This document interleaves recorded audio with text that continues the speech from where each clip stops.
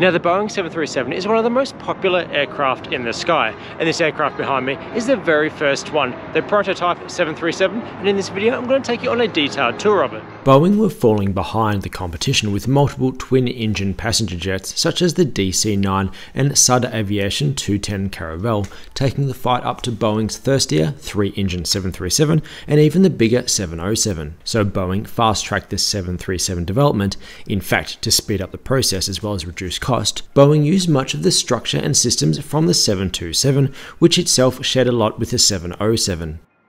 In fact, the 737 was initially designed to have the two engines at the rear like the 727, although Joe Sutter moved them down to the wings, and his name will be quite familiar to Boeing fans. Obviously sharing so much with the older 727 and 707s also made maintenance easier for the airlines as well as pilot familiarity. The first flight was on April 9, 1967, and while demand was slow to get going, over 11,000 have been produced and it remains in production today. One particular disadvantage of having the engines lowered to the ground instead of at the tail was the risk of ingesting gravel and other bits from rural runways. In fact, the 737 was sold with a gravel kit that had a gravel deflector on the nose gear to help reduce the risk of gravel being flung up and into the engines. We'll work our way back to the front and then continue walking around it.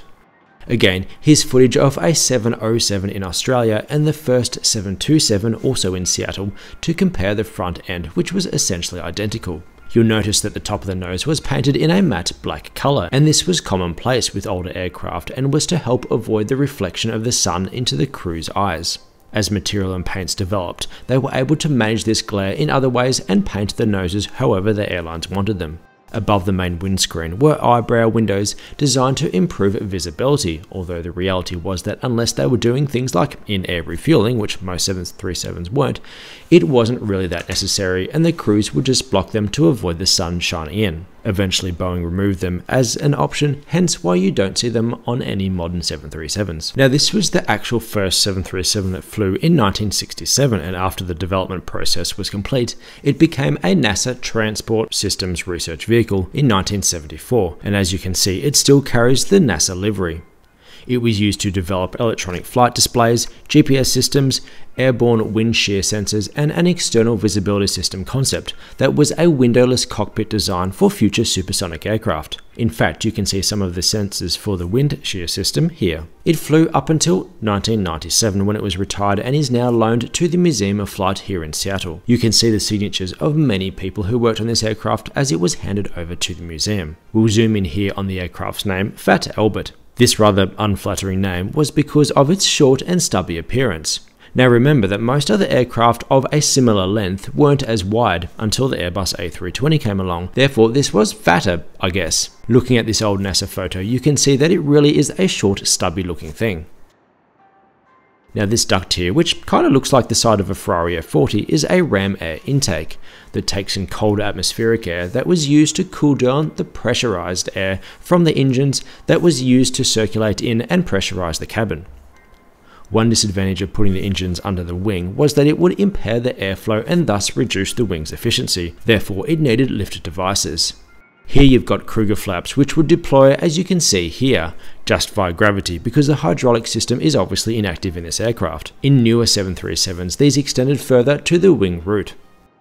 The engines were Pratt & Whitney JT8D turbofans with a low bypass ratio of 0.96 to 1, so almost the same volume of air bypassed the hot core as would go through it.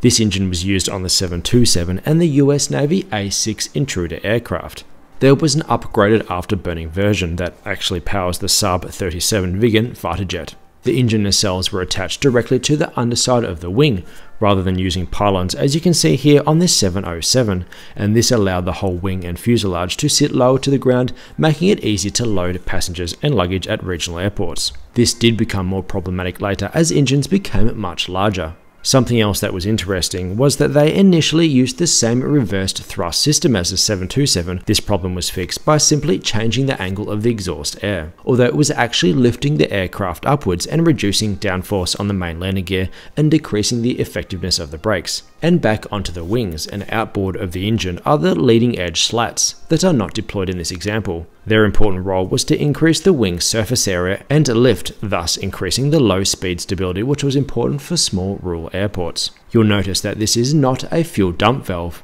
In fact, the 737 can't actually dump fuel.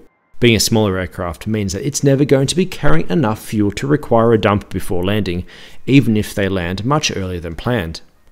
The trailing edge had triple slotted flaps in older models, but this was simplified to double slotted flaps in the next gen and max models, as this reduced complexity and cost. Making our way back to the tail, and a major advantage of fitting the engines to the wings rather than back here was that it simplified the whole rear end. It also allowed for the horizontal stabilizers to be attached to the aft fuselage rather than at the top of the vertical stabilizer as we would see in a T-tail, which would have required considerable strengthening.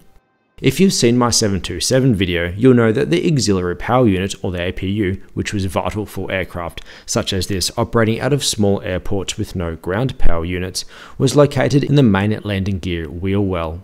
Again, because the engines in the 737 were under the wings, the tail area was free for the APU, thus removing the noise and hot exhaust gas from the hard working ground crew. Here's the APU inlet just underneath the aircraft's registration and obviously the exhaust is aimed out the back. Now this panel here is just to access equipment and not an air stair as you may recall from the 727 video which DB Cooper made famous after hijacking the plane and then escaping out the door in flight with a parachute. But back to the 737.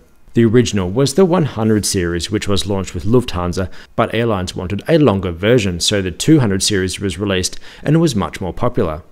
In fact, only 30 of the 100s were made, compared to over 1,000 of the 200 series.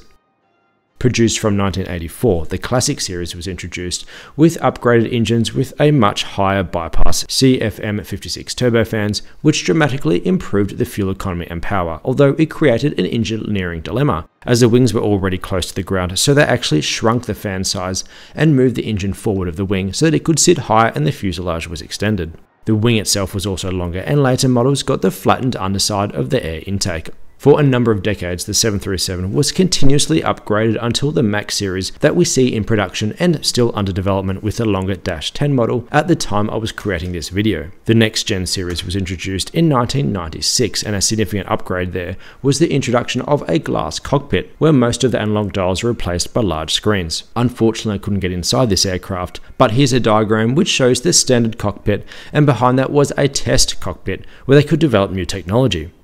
The idea was that if the new one failed, they could fall back on the old analog one to land the aircraft. Here's a NASA photo from inside the test cockpit.